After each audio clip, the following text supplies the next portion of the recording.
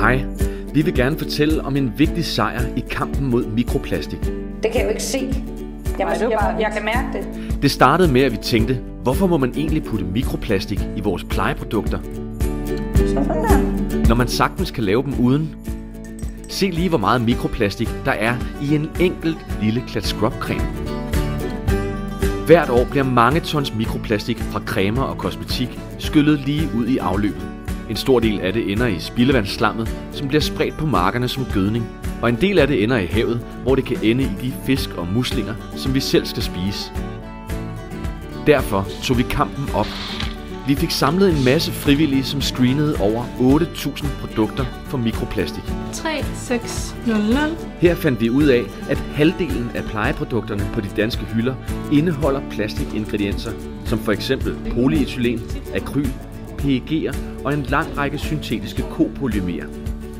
Derfor har vi lavet en app til danskerne. Den hedder Beat the Microbeat.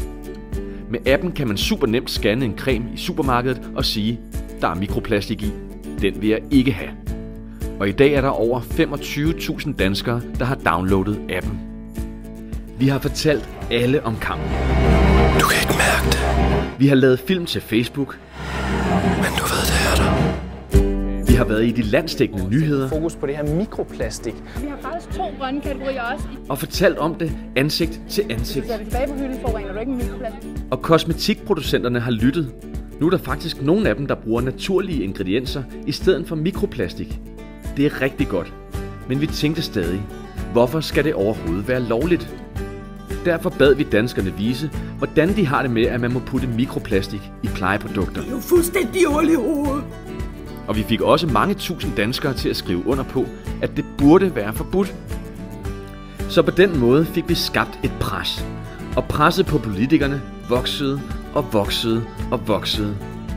Og efter at vi havde kæmpet i to år, så sagde regeringen endelig, ja, mikroplastik i plejeprodukter, det skal være forbudt.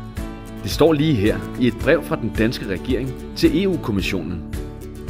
Så nu presser den danske regering faktisk aktivt på for et EU-forbud, og det er da en mega succes.